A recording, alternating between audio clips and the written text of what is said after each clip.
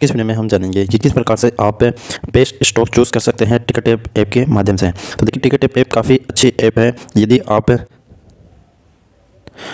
Share market में investment करना चाहते हैं तो आपको इस ऐप को डाउनलोड कर लेनी चाहिए। तो देखिए, यहाँ पर टिकट ऐप आप सर्च करेंगे तो यहाँ पर आपको इस प्रकार का इसका इंटरफेस रहने वाला है। तो आप इसको डाउनलोड कर लेना, ठीक है? ऑलरेडी इसको 10 लाख प्लस लोगों ने डाउनलोड कर रखा है, ठीक है? तो आप देख सकते हैं पॉपुलरिटी वाइज कितनी बढ़िया है, और इसकी रेटिंग आप देख सकते हैं फोर इसकी रेटिंग है, जो कि काफ़ी अच्छी रेटिंग मानी जाती है। आप इसको डाउनलोड करके ओपन करेंगे। तो यहाँ पर मैं आपको बताऊँगा कि किस प्रकार से आप चार हज़ार से ज़्यादा कंपनियों में से आप अपने लिए जो भी बेस्ट स्टॉक्स हैं, उनको चूज़ कर सकते हैं। तो उसके लिए सिंपली आपको ये जो स्क्रीनर वाला ऑप्शन है, आपको इस पर क्लिक कर लेना है, ठीक है? ये काफ़ी अच्छा एक ऑप्शन है। यहाँ पर देखिए आपको सेव्ड वाले पे क्लिक करना है। यहाँ पर आपको क्लिक करना है। जैसे आप इस पर क्लिक करेंगे तो यहाँ पर आपको क्रिएट स्क्रीन आपको इस पर क्लिक करना है। इस पर क्लिक करने के बाद में देखिए यहाँ पर आपके पास टोटल स्टॉक्स की जानकारी यहाँ पर दी गई है। तो चार हज़ार तीन सौ पचास स्टॉक्स है, ठीक है? और यहाँ पर आप इसको स्क्रॉल डाउन करके सभी स्टॉक्स को देख सकते हैं। अब देखिए, मान लीजिए हमको चाहिए कि सबसे ज़्यादा जो प्राइस है उसके हिसाब से कौन सा स्टॉक है, ठीक है? तो यहाँ पर देखिए, आप क्लोज प्राइस पे आप क्लिक करेंगे। यहाँ पर आपको क्लिक करना है। तो आपको जिसकी प्राइस सबसे ज़्यादा है वो आपको देखने को मिल जाएँगे, ठीक है? तो यहाँ पर आप देख सकते हैं कि एमआरएफ की प्राइस सबसे ज़्यादा है, फिर उसके बाद में होन आउट की है इसी प्रकार से आप सभी की प्राइस देख सकते हैं, ठीक है? तो इस हिसाब से और उसके अलावा मान लीजिए आपको चाहिए कि बड़ी कंपनी आपको देखनी है तो आज आप उसका कैपिटल देख सकते हैं मार्केट कैपिटल पर आप क्लिक करेंगे, ठीक है? तो मार्केट कैपिटल के हिसाब से आप देखेंगे तो रिलायंस सबसे बड़ी कंपनी है, ठीक है?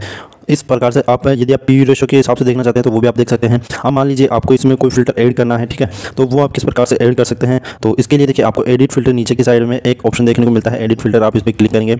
और मान लीजिए कि अब आप इसमें पी रेशो भी ऐड करना चाहते हैं, ठीक है? यानी कि आप पी रेशो देखना चाहते हैं, इसका तो आप इस पर क्लिक करेंगे।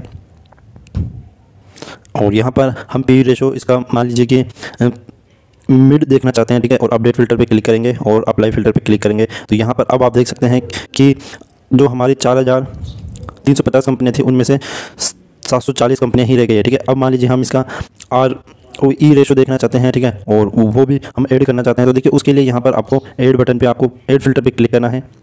जैसे ही आप इस पर क्लिक करते हैं तो यहाँ पर आपको देखिए काफ़ी सारे टैब देखने को मिलते हैं। तो यहाँ पर हम मान लीजिए return on equity five year का देख लेते हैं, ठीक है? तो यहाँ पर ये है फाइव ईयर का, हम इस पर क्लिक करते हैं।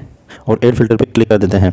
अब हम इस पर क्लिक करते हैं एड वाले बटन पे और हम इसको हाई कर लेते हैं, यानी कि रिटर्न ऑन इक्विटी ये होना चाहिए पंद्रह से ऊपर, ठीक है? तो अपडेट फ़िल्टर पे क्लिक करते हैं और अप्लाई फ़िल्टर पे क्लिक करते हैं। तो अब आप देख सकते हैं कि हमारी 730 कंपनी में से भी मात्र दो कंपनियाँ हैं, जिनका रिटर्न ऑन इक्विटी भी हमारे हिसाब से है और उसके अलावा अदर चीज़ें भी हमारे हिसाब से हैं, ठीक है? तो अब आप देख सकते हैं, इनका रिटर्न ऑन इक्विटी के हिसाब से यदि आप देखेंगे तो सबसे अच्छा रिटर्न ऑन इक्विटी अभी ए एम एल है, ठीक है? उसके बाद में ये कंपनियाँ ठीक है? तो आप इस प्रकार से जो भी कंपनी है, उसका एनालिसिस कर सकते हैं। अब मान लीजिए कि ये कंपनियाँ आ गई हैं और अभी हम इसका जो कैपिटल मार्केट कैपिटल है, उसको भी कम ज़्यादा कर सकते हैं, ठीक है? तो हम यहाँ पर देखते हैं एडिट फ़िल्टर और यहाँ पर हम इसका जो मार्केट कैपिटल अभी काफ़ी, इसमें सभी आ गए तो हम यहाँ पर मिड कैप की देखना चाहते हैं तो अपडेट फ़िल्टर पे क्लिक करेंगे और अप्लाई फ़िल्टर पे क्लिक करेंगे। तो अब हमारे पास मात्र 40 स्टॉक्स आ गए हैं। अब हम इसमें से जो भी आपको पसंद आता है, जिस भी कैटेगरी के आप लेना चाहते हैं, वो ले सकते हैं। यहाँ पे सेक्टर भी दिए गए हैं, ठीक है? हम मान लीजिए कि आपको ये मान लीजिए फ़र्स्ट वाला आपको पसंद आ रहा है तो आप इस पर क्लिक करेंगे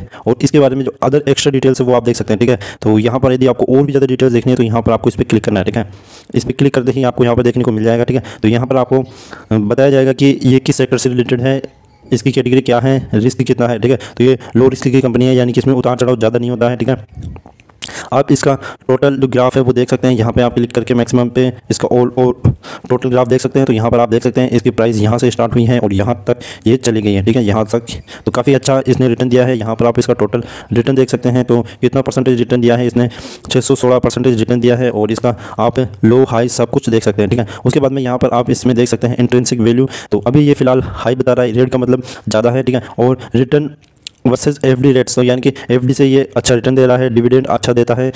ग्रीन का मतलब सब कुछ अच्छा है, ठीक है? एंट्री पॉइंट अभी अच्छी है, ठीक है? नो रेड फ्लैग तो इस कंपनी पर कोई भी रेड फ्लैग नहीं है, ठीक है? और इसके आप की मैट्रिक्स देख सकते हैं, यानी कि इसका पी ई रेशो कितना है पी बी रेशो कितना है डिविडेंड यील्ड कितना है सेक्टर का पी ई रेशो कितना है सेक्टर का पी बी रेशो कितना है, और सेक्टर का डिविडेंड यील्ड कितना है। आपको यदि इसमें कुछ ऐड करना है तो आप एडिट पे क्लिक करेंगे, और यहाँ पर अब आपको लॉगिन करना होगा, ठीक है? तो आप लॉगिन करके इसमें प्रो वर्जन भी ले सकते हैं, ठीक है?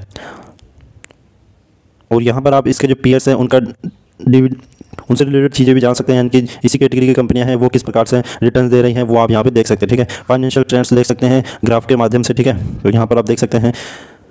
उसके अलावा सी फाइनेंशियल स्टेटमेंट आप इस पर क्लिक करके इसके सभी चीज़ें देख सकते हैं, ठीक है? तो ये काफ़ी अच्छी चीज़ है। और उसके अलावा आप होल्डिंग ट्रेंड्स देख सकते हैं कि टोटल प्रमोटर होल्डिंग कितनी है और लो प्लेज प्रमोटर होल्डिंग कितनी है, ठीक है? इससे रिलेटेड न्यूज़ है तो वो आप देख सकते हैं, ठीक है? तो और रिसेंट अपडेट क्या हुआ है रिसेंट इवेंट क्या हुआ है, वो भी आप यहाँ पे देख सकते हैं। तो इन शॉर्ट ये काफ़ी अच्छी ऐप है, इस ऐप के माध्यम से आप अपनी पसंद के जो स्टॉक्स हैं, जिस प्रकार के आपको स्टॉक्स चाहिए लॉन्ग टर्म के लिए या फिर शॉर्ट टर्म के लिए, वो यहाँ पर आपको देखने को मिल जाते हैं। और यदि आपको ये पसंद आता है तो आप इसका प्रोविज़न भी ले सकते हैं, ठीक है? और तो फ्रेंड्स आज की वीडियो में बस इतना ही। वीडियो यदि आपको पसंद आए तो वीडियो को लाइक करें और आपका कोई भी क्वेश्चन हो तो आप हमें कमेंट करके पूछ सकते हैं। Thanks for watching this video thank you